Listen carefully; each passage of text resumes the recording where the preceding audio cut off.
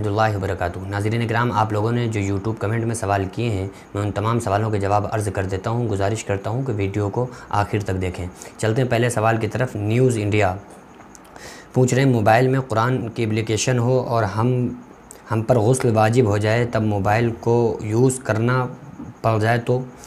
यानी कि अगर किसी शख्स के मोबाइल में कोई भी इस्लामिक फ़ोटो या इमेज या कुरान शरीफ का पीडीएफ हो तो क्या कोई नापाक इंसान उस मोबाइल को छू सकता है, चला सकता है? तो ये समझ लें कि कुरान मुक़दस को नापाकी की हालत में छूना जायज़ नहीं है। बग़ैर वज़ू के भी आपको छूने की इजाज़त नहीं है। बहरहाल ये है कि जो मोबाइल में चाहे वो इस्लामी कोई चीज़ हो, कोई इमेज हो या कोई पीडीएफ हो तो वो चीज़ उसके अंदर मौजूद नहीं होती है। बल्कि अगर पीडीएफ होगा तो उसकी लाइनिंग होगी। कोई चीज़ बज रही है, नात, कुरान शरीफ, तिलावत तो वो उसकी लाइनिंग होती है, उसका अक्स होता है। बल्कि वो एक अपनी अपनी ज़ात की तरह नहीं होता है, जिस तरह से कुरान मुक़दस है, इस तरह से उसके अंदर नहीं होता है, बल्कि उसके अंदर लाइनिंग होती है, उसका अक्स होता है। तो इसलिए अगर कोई भी इंसान, नापाक इंसान कोई ऐसे मोबाइल को, जिसमें इस्लामी दीनी चीज़ है तो छू सकता है, कोई प्रॉब्लम नहीं। शिफा मलिक, जवाल किस टाइम होता है भाई? देखिए, जवाल उस टाइम को कहते हैं, जब सूरज हमारे बिल्कुल सर पे आ जाता है, वो मकरू टाइम है, उस टाइम नमाज़ पढ़ना मकरू है। इमरान शेख, बुरे या गंदे ख्याल आते हैं तो रोज़ा होगा या नहीं? देखिए, ये जो ख्याल आना है, ये इंसान की अपनी ख़ुद की फीलिंग नहीं है। इंसान की वजह से नहीं आते। हाँ ये बात सही है कि अगर कोई इंसान ख्यालात ना लाना चाहे और वो अपने आप को किसी चीज़ में बिज़ी रखे और नमाज़ में बिज़ी रखे अल्लाह के ज़िक्र करता रहे तो फिर उसको गलत ख्याल नहीं आएँगे। तो सबसे पहले तो उसे चाहिए कि अल्लाह का ज़िक्र करता रहे ताकि तमाम गलत ख्याली से बच सके। बहरहाल ये है कि अगर रोज़े की हालत में किसी इंसान को गंदे गलीस ख्याल आ रहे हैं तो वो आ, कोई प्रॉब्लम नहीं उससे जो रोज़ा आपका माना जाएगा कोई प्रॉब्लम नहीं रोज़े पर कोई फ़र्क नहीं पड़ेगा। आफ्ताब आलम क्या मिस्त्री के बाद नमाज़ पढ़ने के लिए नहाना ज़रूरी है? प्लीज़ रिप्ले बिल्कुल ज़रूरी है भाई आप नापाक होंगे तो नमाज़ नहीं पढ़ सकते। एम डी फ़रीद अस्सलाम मुफ्ती साहब। आप कैसे हैं? जी, अल्हम्दुलिल्लाह, हमारा सवाल है कि जब अज़ान होती है, तब हमको क्या पढ़ना चाहिए? मैं एम डी फैज़ान ओमान से। देखिए, जब अज़ान होती है तो अज़ान को दोहराना चाहिए। यानी कि जब जो अज़ान मस्जिन कह रहा है तो उन्हीं अल्फाज को हमें दोहराना चाहिए, ताकि हम सवाब से महरूम न रहें। जो सवाब मस्जिन को है, वही दोहराने वाले को है। तो इसलिए उस वक्त बातें करना सख्त मना है। इसलिए चाहिए कि जब अज़ान हो तो हम अज़ान को रिपीट करें, दोहराएँ। जब इमाम हयासला कहे तो हम लाहौलवलाक़ता अल्ला बिल्ला कहें। इरम रहमान बहुत शुक्रिया मुझे ये पूछना है कि अगर फ़र्ज़ की नमाज़ दस बजे से पहले पढ़ रहे पढ़ रहे हों तो नीयत कज़ा की होगी या नॉर्मल नीयत होगी? समझ लें अच्छी तरह से इस मसले को कि अगर कोई इंस, किसी इंसान की फ़जर की जमात कज़ा हो गई नमाज़ कज़ा हो गई। अब वो आठ बजे सो के उठ रहा है दस बजे से पहले पढ़ रहा है तो वो कज़ा पढ़ेगा या वो अपनी नमाज़ वही पढ़ेगा, बिला बग़ैर कज़ा वाली पढ़ेगा, यानी फ़जर पढ़ेगा या कज़ा पढ़ेगा। तो भाई जो फ़जर की जो टाइमिंग है, फ़जर का टाइम ख़त्म हुआ, तुलु आफ्ताब हुआ, फ़जर का टाइम ख़त्म हुआ और आपकी नमाज़ कज़ा हो गई।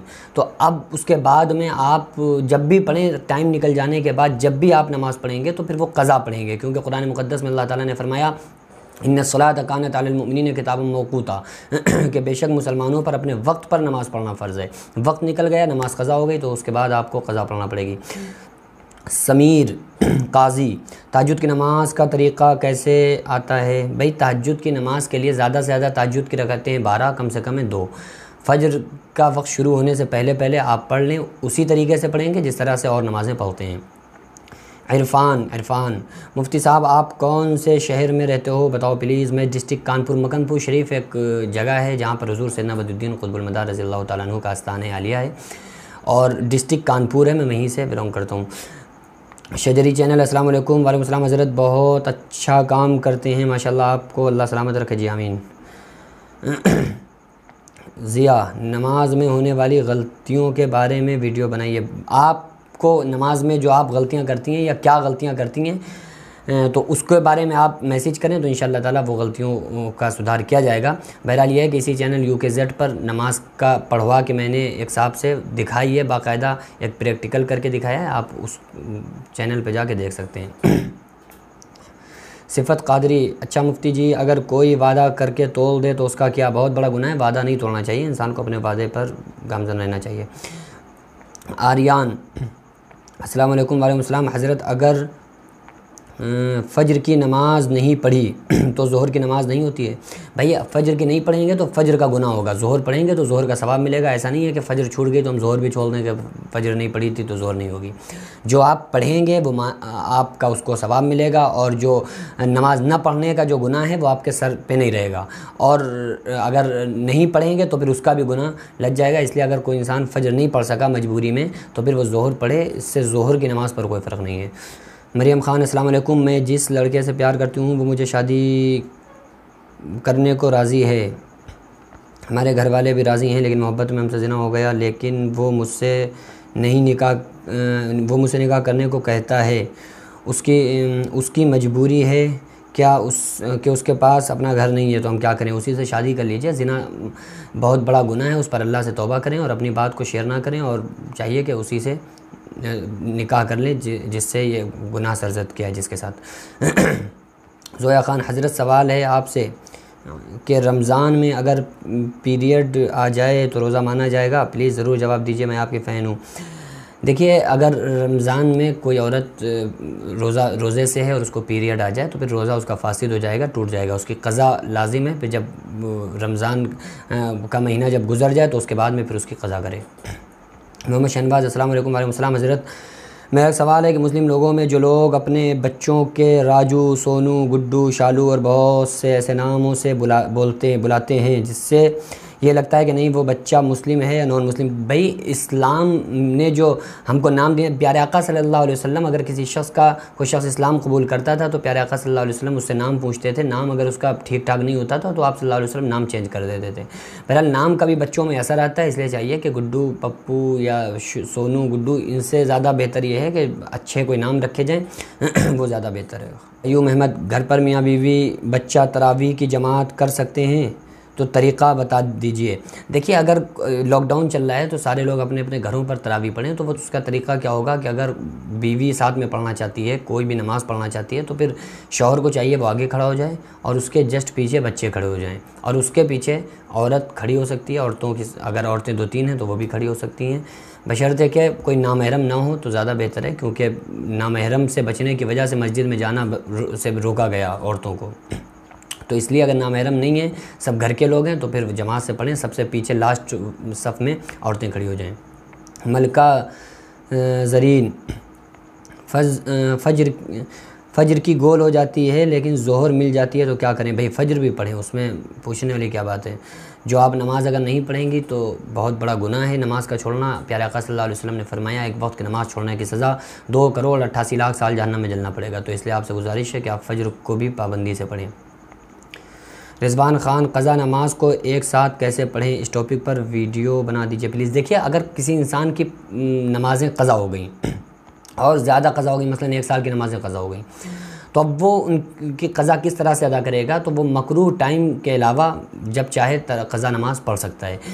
बहरहाल ये है कि उसका एक तरीका, एक सिस्टम ये बना लिया कि अगर पाँच साल की हमारी पिछली नमाज़ें कज़ा हैं तो फिर हम हर नमाज़ के फ़र्ज़ अदा करने से पहले कज़ा नमाज़ पढ़ लें। मसलन, हम आज नमाज़ पढ़ने खड़े हुए और हमारी कल की फ़जर छूटी हुई थी तो अब हम फ़जर की जमात पढ़ने से पहले, नमाज़ पढ़ने से पहले हम क्या करें कि अपनी कल की फ़जर कज़ा कर लें, उसके बाद फिर हम आज के दिन की नमाज़ को अदा करें। इस सूरत से एक हिसाब लगा लें। जितनी आपकी नमाज़ें छूटी हुई हैं, उन नमाज़ों को इतने आगे तक पढ़ लीजिए। पाँच साल की छुट्टी है तो पाँच साल तक इस तरीके से पढ़ लें ख़जादा हो जाएगा। शाजी बालों में जो कलर लगाते हैं गर्ल्स तो क्या वो जायज़ है शादी में या ऐसे ही? भाई शादी वगैरह में जो जितना भी मेकअप औरतें लड़कियाँ करती हैं, वो सिर्फ़ ज़्यादातर जो मैं सबको नहीं कह रहा हूँ, जो ज़्यादातर लोगों की औरतों की थिंकिंग है, वो लोगों को दिखाने की होती है। तो किसी दूसरे के लिए मेकअप करना, उनके लिए सजना सफरना, ये इस्लाम इसकी इजाज़त नहीं देता है। बहरहाल ये है कि अगर लाल मेहंदी लगाना चाहें तो लगा सकती हैं, बिल्कुल जायज़ है। मलिक, नमाज़ में दरुद इब्राहिमी याद नहीं, उसके बदले क्या पढ़ें? अगर ये जो नमाज़ में दरुद इब्राहिमी पढ़ी जाती है तो ये प्यारे आका सल्लल्लाहु अलैहि वसल्लम ने सिखाया है। तो हमें याद नहीं है तो हमको चाहिए कि जल्द से जल्द याद कर लें। मोहम्मद अशरफ मुफ्ती साहब, अगर कॉलेज में लड़कियाँ हों तो क्या करें? बहन तो सब एक दूसरे से बात करती हैं, जैसे कि, भाई, अगर कॉलेज वगैरह में लड़कियाँ, लड़के एक साथ हैं, रहते हैं तो उनको मुकम्मल पर्दे का अहतमाम करना चाहिए। लड़कियों को भी और लड़कों को भी अपनी आँखों की हिफाजत करना चाहिए। ऐसा मामला नहीं है कि अगर आप एक साथ हो गए हैं लड़के लड़कियाँ एक साथ जमा हो गए हैं तो फिर आप उसके बाद पर्दे को तर्क कर दें, चाहे वो बहन बोले या भाई बोले। जिससे निकाह जिससे जायज़ है, उस पर पर्दा फ़र्ज़ है। जिससे निकाह हो सकता है तो उससे ज़रूरी है इंसान के लिए कि उससे पर्दा करे। जब चचेरे, मुमेरे, फुपेरे भाइयों से पर्दा है तो फिर वो कॉलेज में पढ़ने वाली लड़कियों से पर्दा क्यों नहीं होगा? घर वो भाई क्यों ना बोलें? सिफत कादरी मुफ्ती जी, क्या परफ्यूम लगाना गुना है? अगर परफ्यूम में अल्कोहल वो वाला नहीं पड़ा हुआ है, जिससे जो शराब वगैरह में डाला जाता है तो फिर जायज़ है, और अगर वो पड़ा हुआ है तो फिर जायज़ नहीं है। सरवर आलम, क्या लास्ट रकत में सूर्य अखलास के बाद तकबीर कहना ज़रूरी है? या बिना तकबीर कहे और हाथों हाथ कांधों तक जाएँ, ले जाएँ भाई, वित्र की अगर आप नमाज़ पढ़ रहे हैं तो फिर जो तीसरी रकत होती है तो उसमें सूर्य फातिहा के बाद आप सूर्य अखलास पढ़ते हैं। उसके बाद हाथों को उठाना और तकबीर कहना, यानी अल्लाह अकबर कहना, ये ज़रूरी है। इसके इमरान, मैं आप का वीडियो में कितना सवाल किया, आप जवाब नहीं दे रहे हो। क्यों? पूरे वीडियो में भी कमेंट कर चुका हूँ। मेरा आज एक सवाल और है कि ताजुद की नमाज़ में सूरत तस्बी क्या ज़ोर से पढ़ें? भाई, उसमें ज़ोर से पढ़ने की नहीं पढ़ी जाएगी। आप जो ताजुद की नमाज़ जो पढ़ते हैं तो उसमें जो किरात करना है, वो ज़ोर से नहीं करना है, बल्कि अपने दिली में जिस तरह से हम सुन्नतों को पढ़ते हैं, इसी सूरत से हम ताजुद की नमाज़ को पढ़ेंगे और उसमें जहर नहीं करेंगे, आवाज़ नहीं करेंगे, बल्कि अख्फा खामोशी इख्तियार करेंगे। जिस तरह से हम जहर की नमाज़ पढ़ते हैं, इसी सूरत से हम ताजुद की नमाज़ पढ़ेंगे खामोशी से। मोहसिन शेख अलैक्म हज़रत। मैं पहली रकत में अलहमद शरीफ के बाद कुल्ला की सूरत पढ़ता हूँ और वही रकत तीन में भी पढ़ता हूँ। तो ये ये मुकबल हज़रत वित्र की नमाज़, थोड़ा साफ़ साफ़ लिखा करिए, कोई सवाल जब क्या करें। अगर कोई शख्स, किसी शख्स को याद नहीं है, दो ही तीन सूरतें याद हैं तो उनको रिपीट करके हर रकत में पढ़ सकता है। और अगर याद हैं तो फिर अलग अलग करके पढ़ना ज़्यादा बेहतर है। पहले लंबी सूरत पढ़ लें, उसके बाद में उससे छोटी सूरत पढ़ लें। M D Shahzad please sir जो दुआ आपने बताई है, वो रिप्ले कर दीजिए। रब्बना आतिना वाली, रब्बना आतिना फ़ि दुनिया हसनतों वफ़िल आखिरती हसनतों वक़िना अजाबन्नार रिजवान ख़ान क्या औरत और आदमी एक साथ नमाज़ पढ़ सकते हैं? जी, अगर मियाँ बीवी हैं या महरम हैं तो पढ़ सकते हैं, कोई प्रॉब्लम नहीं, आदमी आगे खड़ा हो जाए, उसके पीछे औरत खड़ी हो जाए। अयाज़ अहमद सिद्दीकी सिर्फ़ राइट हाथ की उंगली पर पढ़ा जाता है या दोनों हाथ की उंगली पर पढ़ा जाता है? सुबहान अल्लाह ते। जो तैंतीस मरतबा सुबहान अल्लाह तैंतीस मरतबा अलहमदिल्ला चौंतीस मरतबा, अल्लाह अकबर पढ़ा जाता है नमाज़ के बाद तो पूछ रहे हैं कि सिर्फ़ सीधे हाथ पे पढ़ा जाएगा उंगलियों पर या उल्टे हाथ की उंगलियों पर भी पढ़ सकते हैं? तो दोनों पर पढ़ सकते हैं, क्योंकि आप सीधे पे पढ़ें या उल्टे में पढ़ें, क़यामत के दिन गवाही देंगी हमारी उंगलियाँ भी। सिफत कादरी, जिमा क्या होता है? जिमा होता है कि ज़िना। जिमा अलग चीज़ है, ज़िना अलग चीज़ है। ज़िना किसी से ना नामहरम से गलत ताल्लुक़ कायम करने का नाम ज़िना है, और जिमा हम बिस्तरी मुबाशरत को कहते हैं। राजू राज, अस्सलाम वालेकुम हज़रत क्या कमरे में लाइट जलाकर उजाले में हम बिस्तरी करना जायज़ है? भाई, बेहतर नहीं है।